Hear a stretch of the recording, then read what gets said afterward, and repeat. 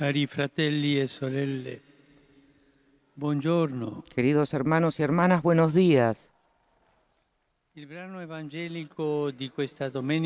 pasaje evangélico de este domingo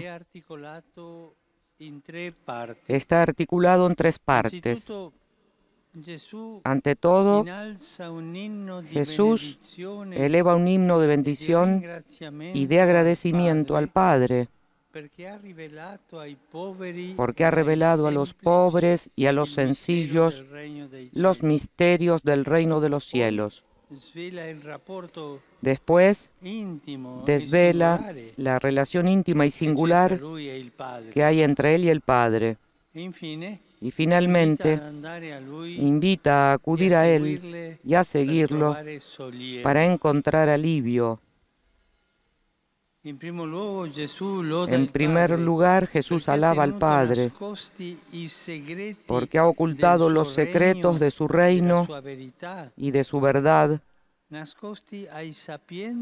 e ocultado a los sabios y a los inteligentes. Los llama así, con un velo de ironía, porque presumen que son sabios, inteligentes. Y por lo tanto? Tienen el corazón cerrado. La verdadera sabiduría viene también del corazón. No es solamente comprender ideas. La sabiduría también entra en el corazón. Si tú sabes tantas cosas y tienes el corazón cerrado, no eres sabio.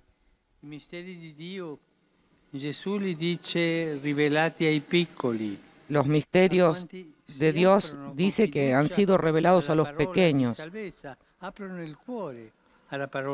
es decir, a cuantos se abren, a cuantos sienten la necesidad da de Él y esperan todo de Él.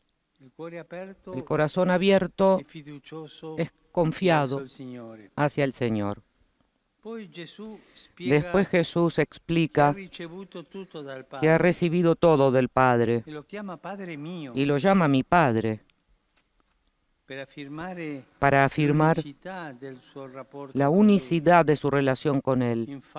En efecto, solo e solo entre el Hijo y el Padre hay total reciprocidad.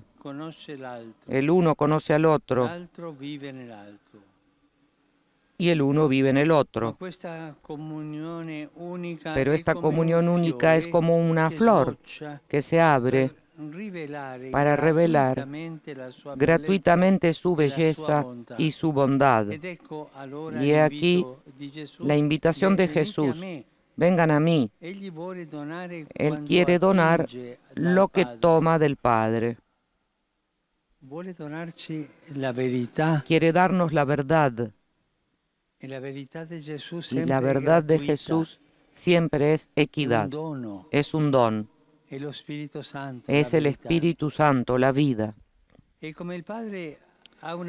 Así como el Padre tiene una preferencia por los pequeños, también Jesús se dirige a los fatigados y Anzi, oprimidos.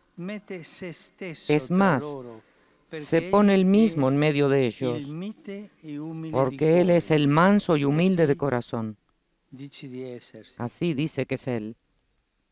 Como en la primera y en la tercera bienaventuranza, la de los humildes o pobres de espíritu y la de los mansos, la mansedumbre de Jesús. e umile non è un modello per i rassegnati, né semplicemente una Jesús. No es un modelo para los resignados, ni simplemente una víctima, sino que es un hombre que vive de corazón esta condición en plena transparencia al amor del Padre, es decir, al Espíritu Santo. Él es el modelo de los pobres de espíritu y de todos los demás bienaventurados del Evangelio que cumplen la voluntad de Dios y testimonian su reino. Después Jesús dice que si vamos que si vamos a lo de Él encontraremos alivio. El descanso que Cristo ofrece a los fatigados, a los oprimidos, no es un alivio solamente psicológico o una limosna donada, sino la alegría de los pobres de ser evangelizados y constructores de la nueva humanidad. Este es el descanso, la alegría. La alegría que nos da Jesús es única. Es la alegría que tiene Él mismo. Es un mensaje para todos nosotros, para todos los hombres y mujeres de buena voluntad, que Jesús dirige aún hoy al mundo, que exalta a quien se hace rico y poderoso. ¿Cuántas veces nosotros decimos yo querría ser como aquel, como aquella, rico, que tiene tanto poder, que no le falta nada? El mundo exalta al que se hace rico y poderoso sin importar con qué medios y que a veces pisotea a la persona humana y su dignidad. Y esto nosotros lo vemos todos los días. Los pobres pisoteados. Y es un mensaje para la iglesia llamada a vivir las obras de misericordia y a evangelizar a los pobres, a ser mansa, humilde. Así el Señor quiere. Así quiere que sea su iglesia que María, la más humilde y la más elevada de entre las criaturas, implore a Dios para nosotros la sabiduría del corazón, la sabiduría del corazón, a fin de que sepamos discernir sus signos en nuestra vida y ser partícipes de aquellos misterios que, ocultos a los soberbios, son revelados a los humildes. Ave Maria, gracia plena, Dominus tecum, benedicta tui mulieribus, et benedictus ventris tui, Iesus. Santa Maria, Mater Dei, ora pro nobis peccatoribus, nunc et in hora mortis nostre. Amen. Ecce ancilla Domini. Fiat mi secundum verbum tuum. Ave Maria, gracia plena, Dominus tecum, benedicta tui mulieribus, et benedictus fructus ventris tui, Iesus. Santa Maria, Mater Dei, peccatoribus, nunc et in hora mortis nostre. Amen. Et verbum caro factum est. Ave Maria, gracia plena, Dominus tecum, benedicta tui mulieribus, et benedictus fructus ventris tui, Iesus. Santa Maria, Mater Dei, ora pro nobis peccatoribus, nunc et in hora mortis nostre. Amen. Ora pro nobis Santa Dei Genitrix. Digni efficiamur promissionibus Christi. Grazie a Tu questumus Domine, mentibus nostris infunde. Ut che angelo nunziante, Cristi fili Tui, incarnazione coniovium, per passione meius et crucem, a resurrezione gloriam perducamur. Per Christum Dominum nostrum. Amen. Gloria Patri et Filio et Spiritui Sancto. Sic operat in principio et nunc et semper et in saecula saeculorum. Amen. Gloria Patri et Filio et Spiritui Sancto. Sic operat in principio semper et in saecula saeculorum. Amen. Gloria Patri et Filio et Spiritui Sancto. Sic operat in principio et nunc et semper et in saecula saeculorum. Amen. Pro fidelibus defuntis, requiem aeterna dona eis Domine. Luce perpetua luce Dei. Requiescant in pace. Amen. Sit nomen Domini benedictum. Ex hoc in usque in saeculum. Aiutorium nostrum in nomine Domini.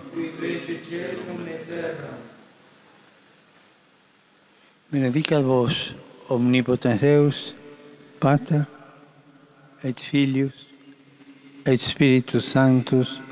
Amen.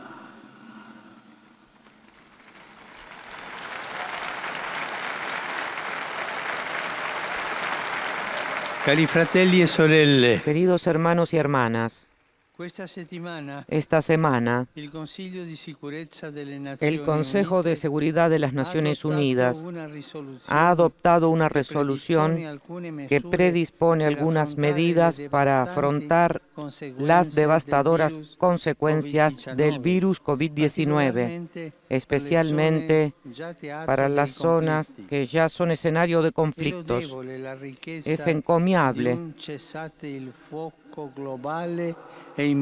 la petición de un alto el fuego global e inmediato que permitiría la paz y la seguridad indispensables para proporcionar la asistencia humanitaria tan urgentemente necesaria. Deseo que tal decisión se implemente de forma efectiva y rápida por el bien de muchas personas que están sufriendo.